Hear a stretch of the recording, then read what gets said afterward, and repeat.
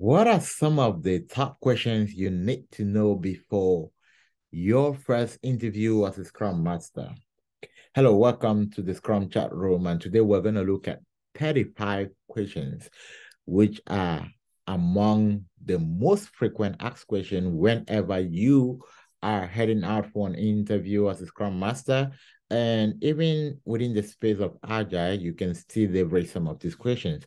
Uh, when we ask every question, we are going to look at it from a three dimension. So this is definitely not just uh, a usual question and answer, but helping you to understand why that question is asked and what are some of the perfect answers you can give in these scenarios. So uh, let's get started before, um, let's get started right away without wasting much time. The first question, which is top on our list today, is going to be, what different KPIs have you used and which one do you think is the most effective in your experience? Now, this question is asked to you as a Scrum Master. When they ask what different KPIs have you used, the first thing you need to understand what KPIs are. KPI simply means key performance indicator. Now, alternatively, this question can also be asked what are some of the key performance indicators you've used to evaluate your team as a Scrum Master, and which one is your favorite? As a Scrum Master, we do understand that they are you have the burn down chart, you have your velocity chart, you have your sprint report, you also have the happiness index, you have the burn down chart as well. Now, when talking about a favorite, it's about how you justify it. I can say that oh, the velocity chart is my favorite because it helped me to, in a very, um, in, in, in, in one instant, to be able to see what has been the strength of my team in terms of their performance. Are they stable? Are they fluctuating? And it helped me to now follow up with more information. I can say the sprint report is my favorite because it gives me the details of what stories were completed, what stories were not completed, at what stage were there when the sprint kind of close out. I could also say, oh, I love the burn down chart because it gives me more clarity into what is going out in what is happening in the sprint, day in, day out. And also I can see if something was added, something was removed, and it also helped me to see if the team is uh, pulling work towards the end of the sprint and help me to generate more questions. I can also say, and this one is my favorite, this the um, team happiness index is my favorite performance indicator. When I talk about the team happiness index, it simply means that is my team happy? If someone were to visit uh, my team having a retrospective, can they see that, oh, wow, I love to be in this kind of team. Is there communication? Is there collaboration? Are people open? Right. So that's the team happiness index. How happy are we just to just have that low, uh, lovely chart? And at the end of the day, if a team is happy and collaboration and communication is effective, those are the ingredients of a performing team. Then you effectively get your result you need as a team. All right. Question number two. If a new product owner join the team who doesn't understand which, uh, much about Scrum, how would you help him? Now, if they join the team and they don't understand much about Scrum, the first reference for you to give them is the Scrum guide that help them to start understanding what are some of these key ideas. Or you can say that if you have your own protocol that highlight the different rules and regulation of the Scrum uh, product owner and how the product owner relate to other members of the team and all the different uh, functionality within the Scrum team, you can help them understand that. Secondly, you want to walk them through your team working agreement. Team working agreement actually specify what are the norms in which your team operate, what are the different events, and what are the time boxes, what are the definition of done, and all of that. So you also want to walk them through that as well and you want to just be there for them right? Having having a conversation with them and making them know that oh you got their back. So it's very important for you to emphasize on this. Question number three. If the product owner is a bit pushy and asking to deliver a user story in between sprint what would you do? Now, this question is an open-ended question. It doesn't say if the story is important or not. It just says they are pushy and they want you to deliver in between. So what they're looking for is for you to understand that we don't just accept story like that. We need to evaluate the priority of this story. How, how, how urgent is this story based on what we are delivering, based on the increment or based on the sprint goal? How urgent is this story? So we must evaluate the importance of every story, whether it's uh, before the start of the sprint, whether it's between the sprint before we accept the story. So if we evaluate and we see that, oh, this is an emergency that need to be taken immediately, what we do is that we evaluate the capacity of the team and who is in the better position to handle that story. Even if that person have full capacity, that person can do a trade-off, right? That person can drop one of the stories and pick up this one. Now, sometimes if the story this person was working on was already in progress, dropping it doesn't mean taking it out of the sprint we might still leave it in the sprint and then pick up the other one and start working on. If the story is still on to do, which means that no one has started working on it, we could do a trade-off. Trade-off means we could pull that out and bring the other one in because it's an equivalent, right? They've not started working on it, which means no effort has been invested in the story. But if effort has already been invested in the story and the story was already in progress, you want to leave it in there so that when you pick up a new story, it shows that uh, you already put in some extra effort on the story that was not yet completed. So very important. Number four, mention some of your retrospective technique as a Scrum Master. All right, so uh, I know you have the sailboat technique. I know uh, one of my favorite technique is also the one word technique. And this is also a technique that has been very helpful. Not just it's a technique that is helpful for you when you start working with a new team. It's starts helping you understand them. For instance, if um, uh, let's say I have 10 people in this uh, meetings, right? And this is my first time. I could say, okay, team, can everyone look at the chat box, write down one thing you think that can best describe you. Now, one thing is not difficult to do, but if I just ask you to start talking, it's like, oh, where do I start? But I say, write one thing.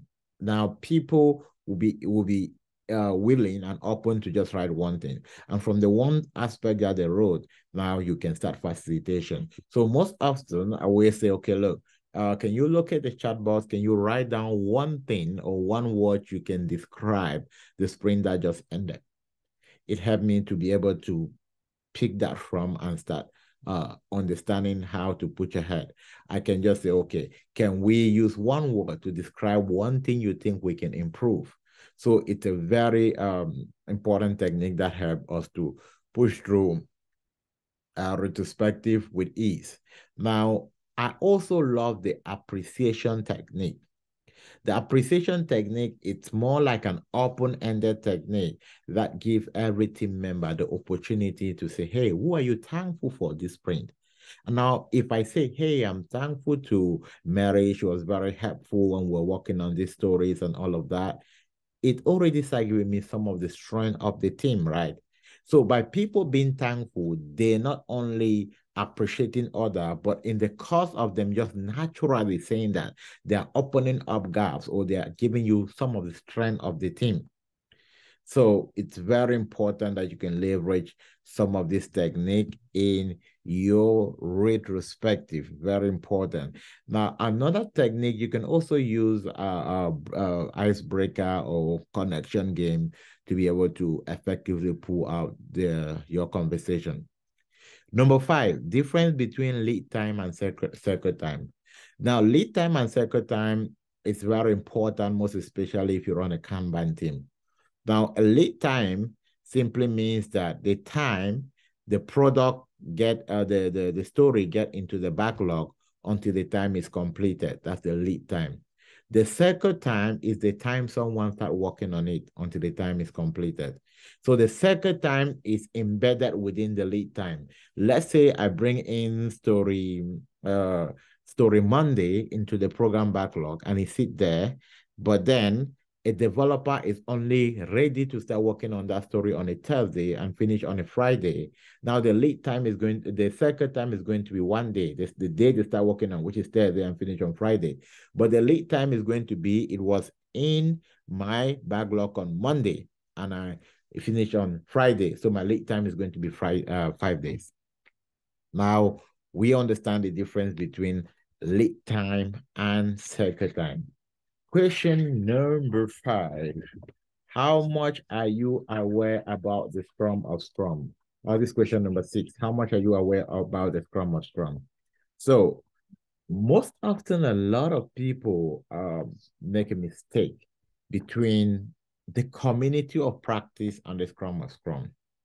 Now, the Scrum of Scrum is an event of Scrum Master coming together and is facilitated by the release train engineer. The Scrum of Scrum is a typical event in a SAFe environment.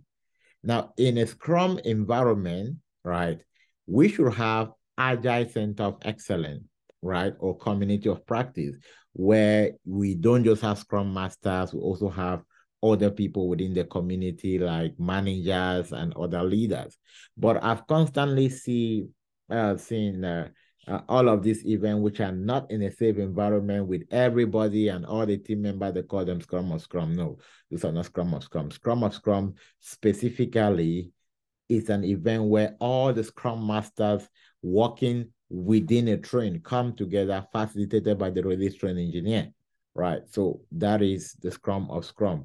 And it helps us to come together if we're working on the same product we'll try to look at what is our progress towards our bigger goal. What are some of the impediments we need to address and how can we learn from each other? Question number six, technical debt and how to handle it. Now, technical debt, it's also called quality gap debt. So an alternative word to technical debt is quality gap debt. Why do I say quality gap debt? Let's say that we want to build um, a system for accepting payments, right? For accepting payments on the student loan, right? And because we want to start using all of this system on, as fast as possible, we make it in such a way that uh, student can only pay, uh, make payment using first name, last name, and card number, right? First name, last name, card number, and all of that. And that is, we can start that because that's the most common use. But in reality, not all students have first name, last name, and card number. Some may have middle name, some may also have business name. And this system was not really built to accommodate all of this differentiation that may happen, right? Now, although we're already using the system, we realize that it has a defect in quality, has a gap in quality because it cannot serve all our clients, right? Because of that, it need to be sent back to uh, the development team to incorporate all of these aspects that can enable more quality, more uh, delivery capability.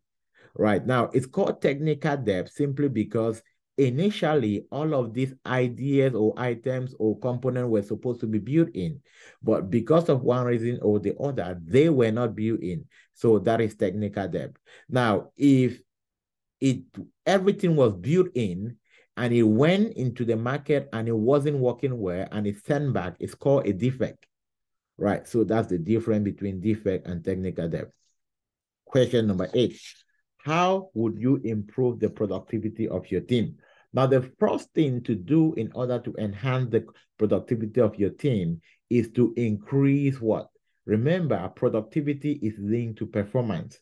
And now when you look at some of the ideas or some of the dysfunctionality of the team, one of the first one you realize that is lack of trust, and which is the foundation. Right now, when you start looking at what can I do to improve trust, now think about your first date, right? Your first date, what did you do to get that uh, uh, uh your fiance or your boyfriend, your girlfriend trust you? You communicate, you start opening, you you you you you don't pretend to be who you are right? If you pretend to be who you are, it means you you don't want something really, you don't want to build on trust. So if you want to build on trust, you communicate like Ray. So you you in order to improve productivity, you want to help your team to improve communication and collaboration. Open communication is very open. Give open opinion. If they can do that, then we can be able to find out what is the gap we are missing what gap do we need to close in order to get to our achievement. Remember, Scrum is all about relentless improvement. It's not about you do this and boom, there's a change. No. So if I can effectively get my team to collaborate, to learn from each other, then I'm sure that no matter the challenge they have, collaboration and communication will be able to address that. All right. If I want to look at this question from the technical angle, what I can also say is that if I look into specifically on the way my stories are being sized, now we're talking about flow. What does flow mean? Flow simply means that your team are, is able to complete the story within the sprint. And if they don't complete it, we can easily identify why they did not complete the stories. What happened is because we try to break down our stories into smaller batches. Let's say that if the maximum story size we have is a three, and three means relatively about three working days, we can easily identify why were we not able to complete this story? But if all my story points are from five story point, eight story point, sometimes it's even difficult to track, right? Because there are several components to build and to test within that story. But when we break down stories into one story point, two story point, maximum three story point, we can easily enhance flow. We can easily have uh, both QA and test staff collaborate within the sprint, get story completed and tested within that same sprint. But if the story sizes are big and it's an eight story point and the developer is finished their own work maybe last by one day, there's no way that the tester will be able to complete on the last day. So we have keep on having pi over pi over productivity low down. So if we kind of drop down batch sizes of our stories, it increases flow. It can also enhance productivity. Right. Now, another point that can enhance productivity is having what we call a, uh, team working agreement. Team working agreement have to hold everyone accountable. It's a standard by which the team should operate, a standard by which we should keep on quality. If we have this standard and we constantly remind ourselves during retrospective on how to maintain this standard, we are definitely going to improve flow. All right. So question number nine. What uh what you cover in a back what do you cover in a backlog? Okay, what you cover in the product backlog other than stories and bugs. So apart from apart from stories and bugs, what else can you find in your product backlog? Very important question you can also find non non uh, functional requirements. Non-functional requirements are improvement items. For instance, if we get on the retrospective or realize that uh, there is collaborate, the less collaboration between the back end and the front end developer, and that is an action item. That's a non-functional requirement. We write that down and we add it into our backlog because we want to plan it into our sprint and see that this is effectively implemented. So you can also have non-functional uh, non-functional. Uh, you can also have uh, non-functional requirements added into your backlog, right? So you can also have documents and attachment on under each of the stories and box that support uh, what need to be done. Okay. And number 10, prioritization technique. What are some of the prioritization technique? When we have stack ranking, what stack ranking stories are prioritized based on their priorities from one to five, and then we can now pick them based on how they are prioritized. We have the MoSCoW technique, which talk about uh, must have, should have, could have, and won't have, where the must have is what must really be there. We want to look at what must we put in this sprint and all of that. We want to ensure that all of this is happening within the sprint. Also, our prioritization technique, uh, we also want to talk about the WSJF, weighted shortest job first. It's very important technique that is used at the level of the program to break down stories into backlog. And as a Scrum Master, you need to learn about the weighted shortest job first. The weighted shortest job first talk about uh, the cost of delay over the size of the story, which means that the story that is costing us more money, if we keep staying there, we should be able to complete that story first. All right, so uh, we the top, we already answered the top 10 questions. Uh, we still have about 25 to go. All right, couple of stuff. If you want to be part of our community where we're able to get not just answer this, but demonstrate this practically, you can always reach out to us. Check the description box. There's a whole lot of contact details, our website and numbers. Reach out to us. I'm willing to take my Scrum journey serious and more practical. We'll be able to help you. And our next Scrum, Scrum Master, say Scrum Master certification training is coming up on the 28th of November. If you miss that one, almost every other two weeks, we always have a training coming up. Always reach out to us and you get one of the best training. All right, let's get to question number 11. How would you convey bad news to the client?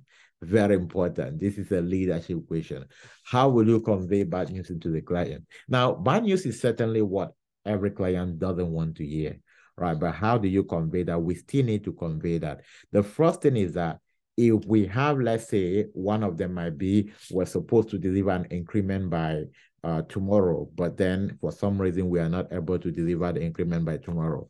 So in that case, what you want to do, first of all, is to give the client um, the value and added value of what you've been doing. So let's say we're supposed to deliver this increment. I can just cannot just call the client and say, okay, Mr. Client, uh, we cannot deliver this into XYZ. So what I will, I'll call the client, I will say, okay, look, James, uh, we're working on this stuff. We have this completed, this completed, this completed. I'm giving them what has been done yet. But because um we still need to add more quality into these, and we have a gap in terms of one of our developers uh, was urgently called out. It kind of might be unfortunate that we might not meet this within this period. And I wanted to know your opinion on what you think about not delivering this. And it's more like a negotiation, opening up to them and say, look, this is our situation. And then inform them what are some of the options. Don't just tell them that. What are some of the options? Now, what we could do is that um, we could try as much as possible to deliver this in two, three weeks, right? Or we could as well add more cost a year so that we get in an extra person. But if we implement this option, this might be a bit expensive for us. So you don't just break out bad news like that. You give them some good news, possible option, possible solution on how we can resolve it. Question number uh, what number is it? Okay, I'm I'm I'll lose count of the number. I'm I'm just gonna assume that this is number 13. Uh, is it number 12 or number 13? Let me see. Have a whole list of questions here. Okay, this is question number 12. Conflict management. How will you manage conflict as a Scrum Master? All right, the generic technique of managing conflict first is to build trust. Just imagine you met two people on the road fighting, you've never met them. Can you go and start trying to help them resolve this conflict? No. What are you going to do? If you're in the US, you call the cop. Mm, that's the way you resolve the conflict, right? But if you met two people within your household fighting, what are you going to do? You try to understand what the problem is and try to look at how you can help them come into an amicable agreement without taking sides. the same thing in a team. What helps you to solve conflict is the fact that you have built trust.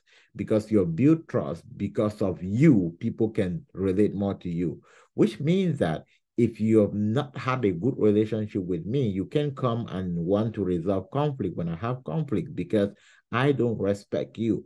So your ability to resolve any conflict is based on the respect you command. And that respect you command is just being there. You don't have to do anything. It's just about being there. People who you respect a lot, I, I don't think they did anything extra. It's just about them being there. Hey, how are you? How are you today? And because they care about you.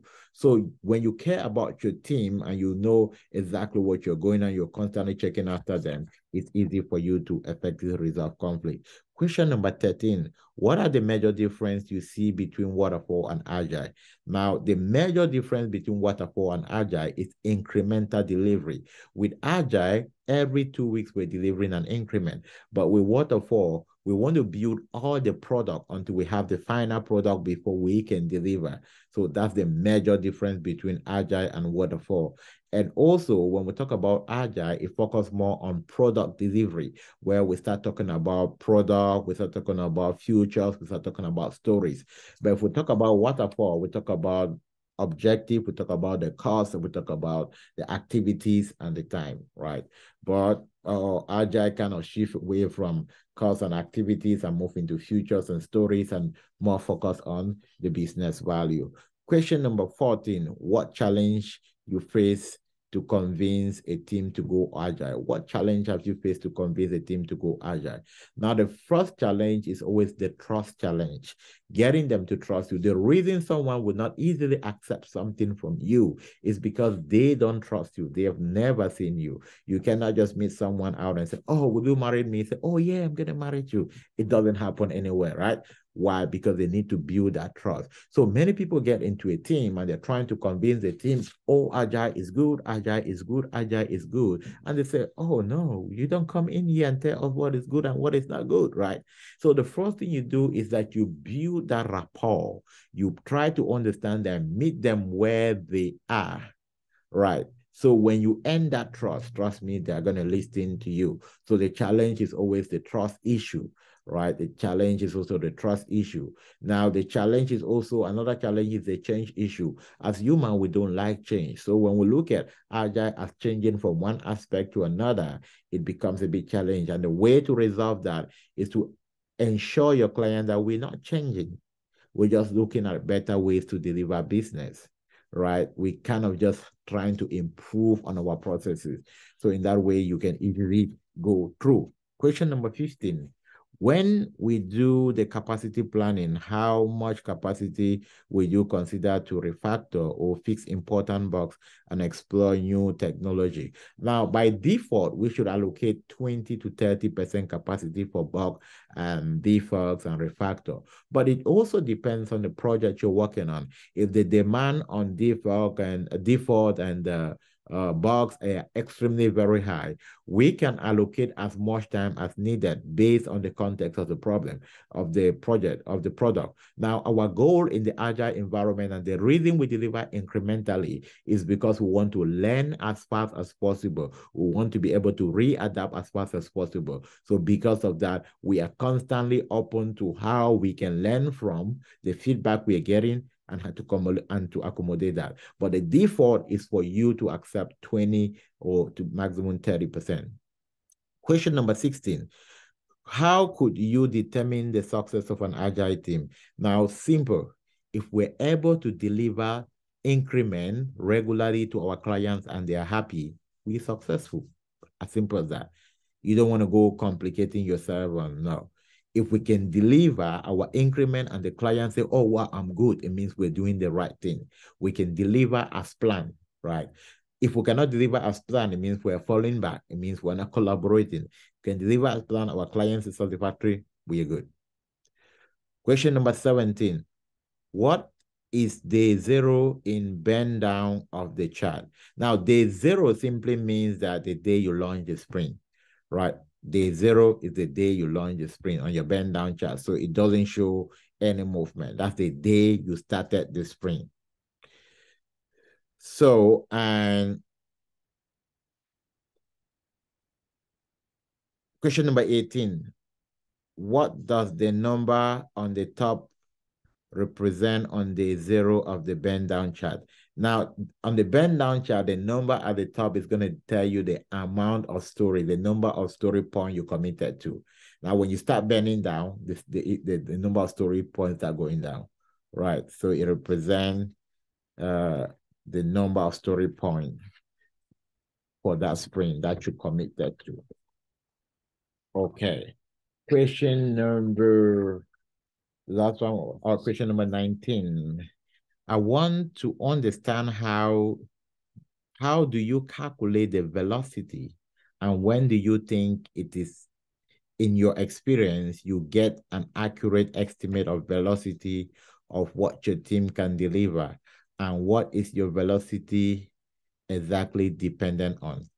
Averagely, I would say velocity should typically be calculated within 90 days, which means you've completed about six sprints. Now it gives you an average amount of work your team can learn from. 90 days is already good time enough to learn from your team to uh, start implementing some of the changes and get them into a state where they become stable. Now, uh, when you calculate that average of 90 days, velocity simply means the amount of, of work your team is able to complete within the sprint. And your velocity is dependent on your capacity. Capacity means how many people, based on their time and effort, they're willing to commit into your team. Question number 20. How do you, you differentiate between product backlog refinement and product uh, backlog grooming? The, the same thing, the same, the same thing. Product backlog refinement are both same meetings. It just depends how you define you decide to call it. Refinement, grooming, the same thing. All you do within the meeting is to look at how to accept story. You no, not accept story. Look at how you can prioritize your story. Look at how you can assign them to uh, uh not really, not really assign them. You make sure you prioritize the story. You make sure uh they are pointed. You make sure they are ready to move into the sprint backlog. And if they are ready at that point for at least the sprint that you are uh, grooming for, if you can go ahead and even allocate uh, uh, um, your capacity and who is going to do what, that's also going to be very important. Okay, question number 21, now question number 20. Okay, before we go on to any question, 15 more to go. I'm gonna see if I can complete all of 15, all of the questions. Now, um, just to remind you, our SAFe certification is happening on the 28th of November and it happens every other two weeks. Uh, you can have all the information on the description. If you want coaching, right? If you if you've been able to understand how we're explaining this question, it means if you come to the practical part, this is a theoretical part. I always tell everybody, uh, what you get online is a theory. Now, if you really want the practice, know how not just to understand what Sprint Zero is and to be able to practically see that by doing that, then that is where you what you need to do. That's what we talk about our community of practice, community of practice. We don't just go sit there, do question and answer, right? I don't do the same thing I do with you online. We kind of dirty our hands on the board and get you a seasoned Scrum Master before you ever get on your first job make sure you reach to us as well. If you're already a Scrum Master and looking for a community where you can learn and grow to become an agile coach, you can have an opportunity to start coaching others. That is also what we do in our community. So let's go to question number 21. Can you walk me through deployment processes? Okay. So deployment processes, the code get developed in the develop environment. And after that, we go into quality assurance environment. So the developer build the code, we move it to the QA environment. Uh, when the QA, when it goes through the QA environment, quality assurance environment, it goes through the user acceptance environment, user acceptance testing environment. And then for approval, the PO and the business uh, for approval PO and the business. And after the PO accept, it goes into production. So um, very simple way, deployment. When we say deploy, it means that we've accepted that this is done. So not accept, yeah, we accepted that this is done. So the developer is building the code. The code go through QA. QA simply means uh, we do all unit testing on its parts. Now, user acceptance simply means that with the user, we look focus more on business value of that story understand exactly what is going on, right? Now, after it goes through the user acceptance criteria or user acceptance testing, what happened is that it's then approved for deployment into production, right? Deployment into production. Now, the production environment is where we host uh, the, the increment. Now, it's from there that we get it to release to the user environment, right? So the uh, production environment, it should be similar to the user environment.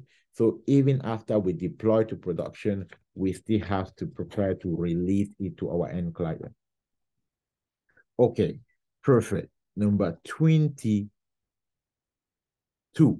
How do you plan your sprint? Sprint planning. Now, the different step in planning sprint. Number step number one, you estimate your capacity and your velocity. Step number two, you ensure that everyone is participating and understand the story, what need to be done, uh, all the acceptance criteria. Step number three, you estimate the story. You make sure that the stories are effectively estimated. And when they're effectively estimated and allocated a story point, step number four, you make sure that someone commit to this story. Someone should say, okay, I'm going to take this story.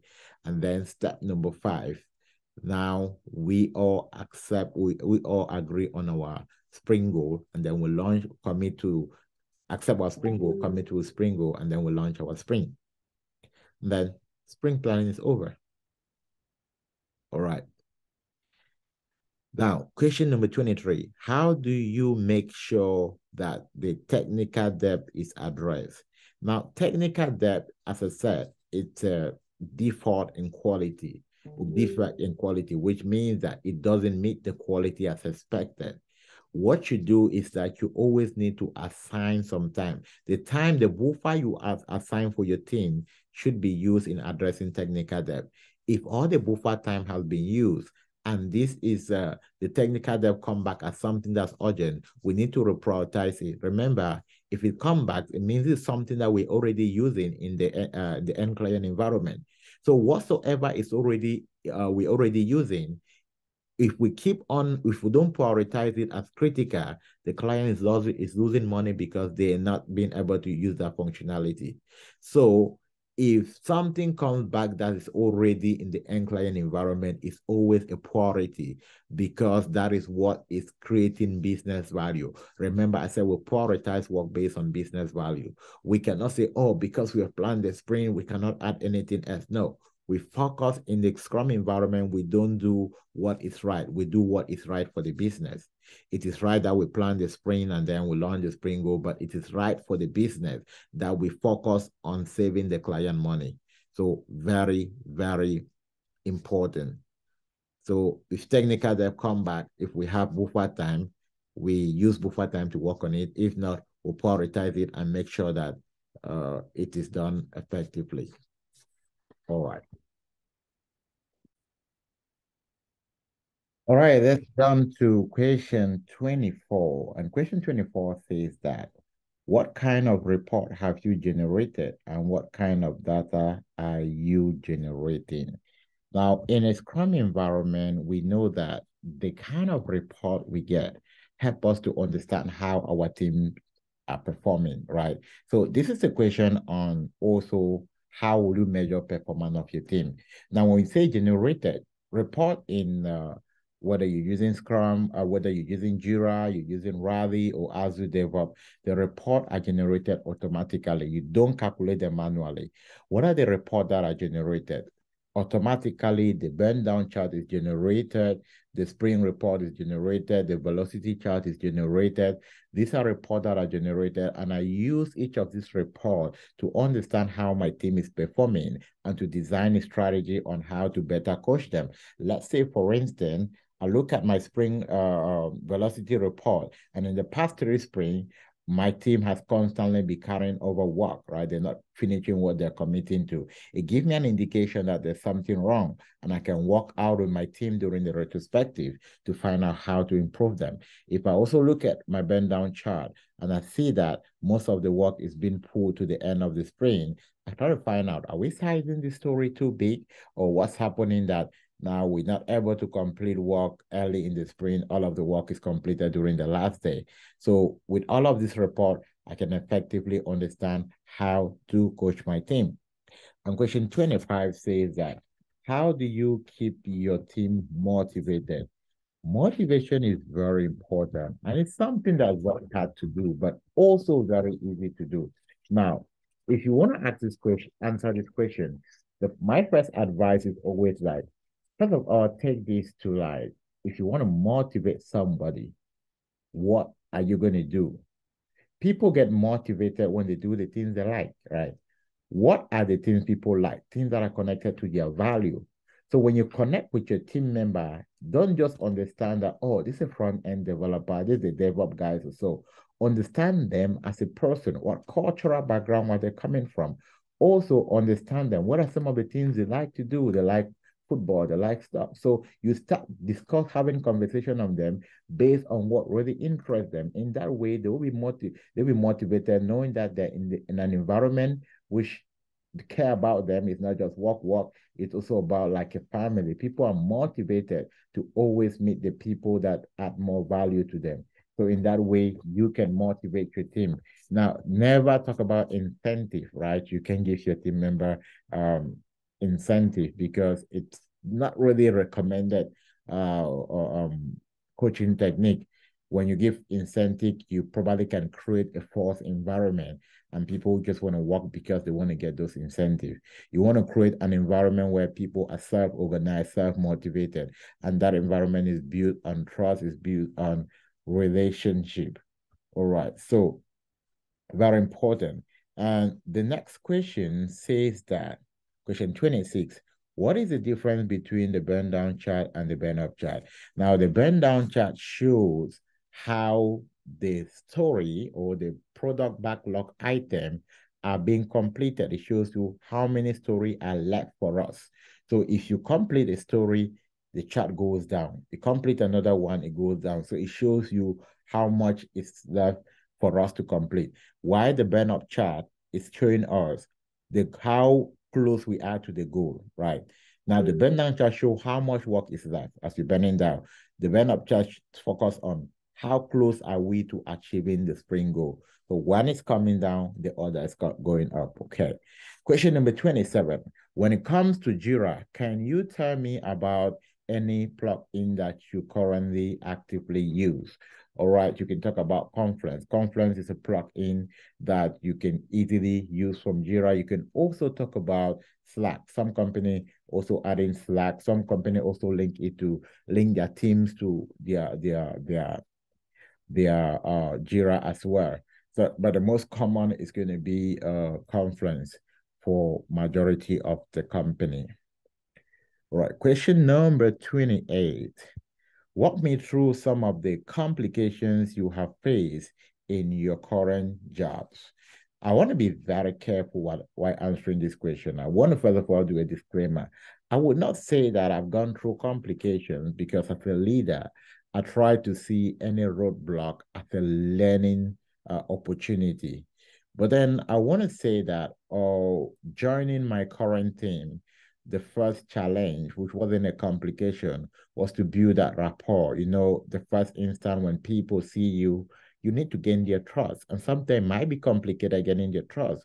But if you just kind of communicate openly, then you can easily buy in the trust, right?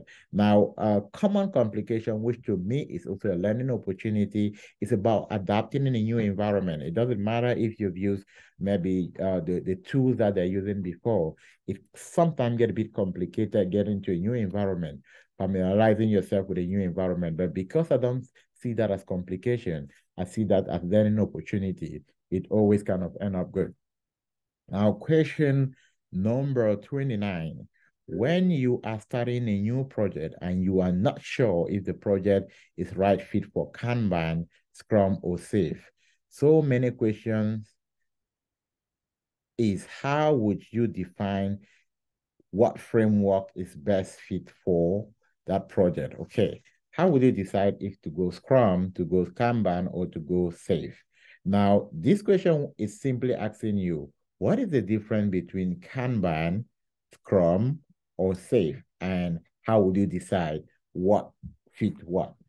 Now, for me, if the project most often doesn't require us to deliver incrementally, but we're so focused on how we want to visualize or want to track how we complete work, then we're going to use a pull-based system, which is Kanban. Kanban focus on visibility and focus on prioritizing and completing work. But if the project focus on we want to be able to deliver incrementally and we're working on future, there's a roadmap that we need to clearly follow. It leaves me with a choice to choose between Scrum or Kanban. Now with, with between Scrum or SAFe. Now with the difference between Scrum or SAFe, if the project is uh, not really a complex project and require maybe just about one to three teams or maximum four teams to complete the work, I'm going to choose Scrum because with Scrum, I would not have to do PI planning and complicated planning. We can all work this out at the level of the team. But if the project is a complicated project and require me to take in more than five teams working on the same product, then I need to get more bigger layer of alignment and complexity. So I'm going to choose SAFe. All right, perfect. Question number 30. Sometimes senior stakeholders are not interested in burn down chart. What are the other metrics you can share with them to show them the inside of the project?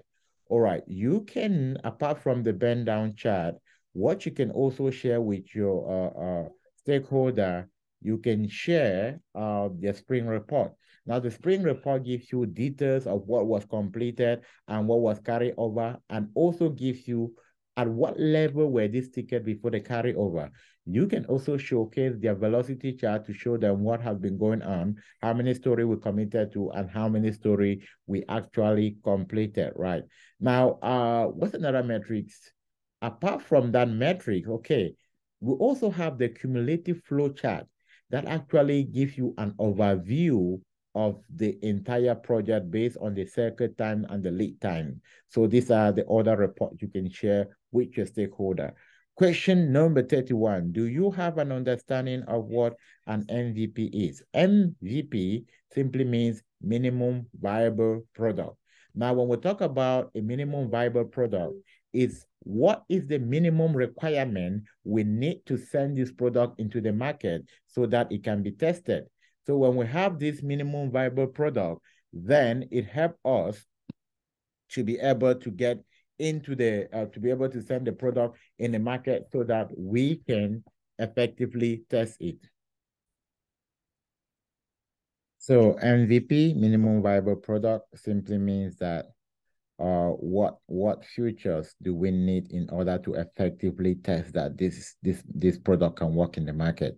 So most MVP uh, uh, goes into the market with a lot of compromise in quality just because we want to test and see the behavior. So we don't want to invest a lot of money in there just for the testing phase. All right. So question number 32 how do you ensure that the estimate of the user story is done correctly? Number one, uh, you want to be able to understand how we estimate stories. We estimate story firstly by picking out a story that can be completed in less than a day and giving that a number one. Any other story is estimated relative to that. You can also use the unit testing uh, as an as a measure to estimate uh, the effort that is needed for a story. Let's say that if a story that need um I, I would definitely not go there because it requires me to explain more further. Now, estimate rising is just simply means that let's make sure that this story uh, can be completed independently, right? It can be completed independently without relying on something else. And then looking at the relative sizing, we start by looking at, let's first of all pick something that we can complete in less than a day. And we put that, gives that no, number one. Any other thing is estimated in relation to that one. Then on question number 33, you have told us on how you would get your team coach to agile methodology once they are on board. Once they are on board.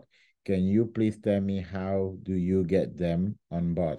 All right, how would you onboard a new team? Now, onboarding a new team is first of all taking them through your team working agreement, ensuring that they, they understand the rules and regulation, and on, uh, ensuring that you you can help them understand. You can find out what knowledge gap they need, what else they need to learn, and also ensuring that you introduce them to other members of the team and with the team working agreement, which is definitely the ultimate.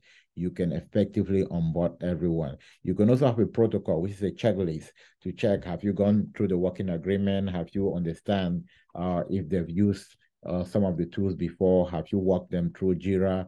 Have they already meet all, all the team members? Uh, do they have their laptops and all of that? That's what you do um, if you're onboarding as a senior Scrum Master. Question number 34. What are the key metrics to use to evaluate your team progress as a Scrum Master? Now, the key metrics, you have the burn down chart, you have the uh, velocity chart, you have the uh, sprint report as well. You can also talk about the happiness index, right? Those are the key metrics you use. Question number 35. What different KPIs have you used and which one do you think are the most effective one in your experience? Now, KPIs also talk about the burn down chart, the uh, burn up chart, the velocity report, and also the velocity report, and also uh, which one? The burn down chart, the burn up chart, the sprint report, the velocity chart. Uh, yeah, those are the key matrices that you can use. You can also use the happiness index, which is more like qualitative assessment. But I won't say all of these need to work together, right? So there's no preferable one. You can just say, okay, uh, maybe the, the velocity chart gives you a snapshot and can help you look back into more details. But in a nutshell, you need to work with all of these uh, matrices together. Wow. So we did crush 35 questions, which uh, you likely come across in any Scrum interview. If this was definitely helpful, make sure you hit the like and subscribe button. Also, make sure you share. If you want more of this first-hand knowledge, do where check the link below, be part of our Scrum community, and we are going to see you here. Have a happy week. Happy Thanksgiving. I'll see you.